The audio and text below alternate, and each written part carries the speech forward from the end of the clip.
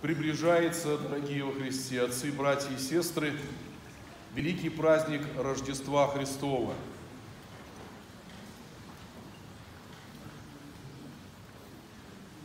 Остается совсем немного дней, когда наша жизнь будет озарена светом радости родившегося мир Христа Спасителя. И каждая христианская душа почувствует, что с нами Господь. Два воскресных дня непосредственно перед праздником Рождества Христова,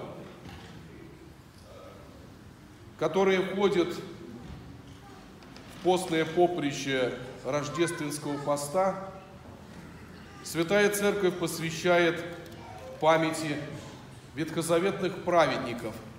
От Адама до святого Иоанна Предтечи, живших верою в грядущего Мессию, оберегавших веру в единого истинного Бога, ожидаемого Израилем Мессию от языческих заблуждений.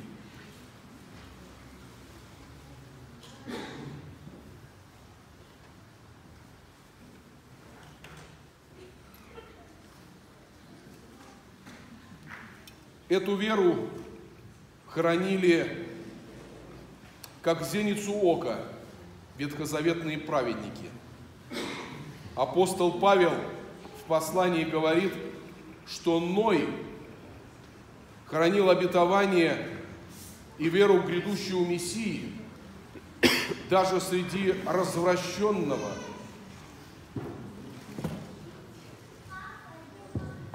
общества людей. Хранил и передал веру и обетование в грядущего Мессию последующим поколениям.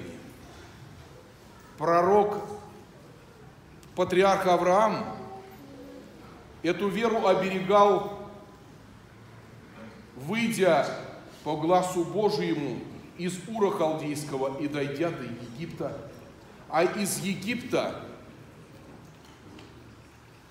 по повелению Божию, перейдя в Египет, сохранил и передал его потомкам. Веру в обетованного и грядущего в мир в Мессию передавали из поколения в поколение. Цари и судьи,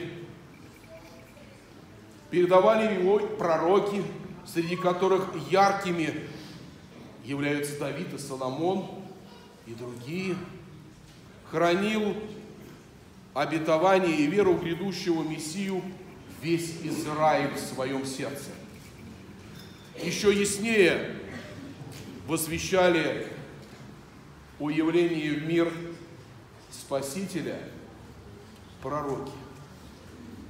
Именно потому апостол Павел в своем послании, говоря о примере веры в грядущего Спасителя, поучает евреев, а вместе с ними и нас в послании своем – адресованным к евреям. Поминайте наставников ваших, которые проповедовали вам Слово Божие, и, взирая на скончание жизни, подражайте вере их. Зададимся вопросом, глядя на пример праведников. Пребываем ли мы вере, которую имели они? Способны ли мы на веру подвиг, который они совершали? Если нет, то что необходимо сделать? Если совесть нас обличает, а Бог, зная намерения и движения сердечные, говорит, что мы слабы в вере поучимся у святых. и читая их жизни, их подвиги, должны учиться вере у святых. Приближается праздник Рождества Христова, и каждый из нас должен тщательно подготовиться к встрече Господа, с тем, чтобы Он родился не только в яслях вифлеемских, но родился в сердце каждого из нас.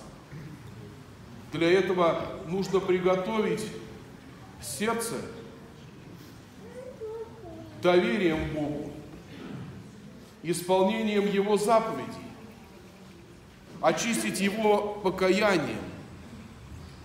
И тогда, подготовившись, мы почувствуем радость светлого торжества великого события, явления в мир Господа и Бога и Спаса нашего Иисуса Христа.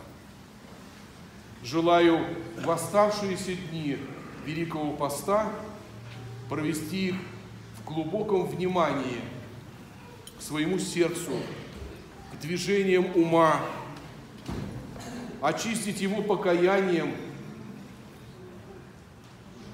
подготовиться к принятию святых Христовых тайн, подготовившись принять внутрь себя, чтобы Господь осветил нас, и чтобы радость, с которой ветхозаветные праведники жили и умирали, а потом увидели Христа, победившего грех, дьявола и саму смерть, чтобы этой, с этой радостью мы вместе с ними пребывали вместе. Вместе с праведниками, со всеми святыми, с нашим Господом. Ради своего создания – явившегося во плоти, пострадавшего, воскресшего и даровавшего нам жизнь вечную, которую молитвами святых да удостоит всех нас Господь, человеколюбивый и милостивый. Аминь. Сегодняшний день, день памяти ветхозаветных праотцев, игумен монастыря Гетшендорфе, ближайший помощник преснопамятного владыки Феофана, досточтимый отец игумен Даниил отмечает свой день тезаименитства. Позвольте, дорогой отец Даниил, поздравить от себя лично и от клира, от народа Божьего, от всех тех, кто вас любит, уважает, к вашему голосу прислушивается, духовно вами Вадим, поздравить вас в этот день тезаименинства с днем вашего торжества. Пожелать вам всеукрепляющей помощи Божией, крепости душевных и телесных сил, не унывать, отец Даниил, несмотря на то, что монастырь требует много и много трудов, но верю и надеюсь, вместе с вам, со мной молится вся церковь, что Господь поспешествует вам и братья молитвами всех восстановить монастырь и почувствовать, что сколь близок к нам Господь. В этот день вашего тезаименитства примите поздравления и от всех тех, кто сегодня собрался почтить память ветхозаветных праведников и выразить вам слова своего, своей благодарности и поздравления. От нас примите цветы, дорогой отец Даниил, и святую просвару.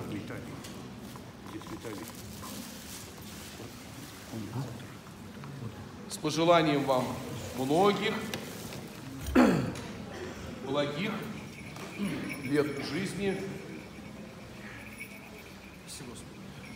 Великому Господину и Отцу нашему Кириллу, святейшему Патриарху Московскому и сия Руси, и господину нашему высокопреосвященнейшему Тихону, архиепископу Подольскому, ныне те знаменитым, игумену Даниилу Отрокараону, отраковица Рахиль, всем здесь предстоящим и молящимся, Подось, Господи, многоденственное и мирное житие, здравие и спасение, и во все благое поспешение, и сохрани их на многое время.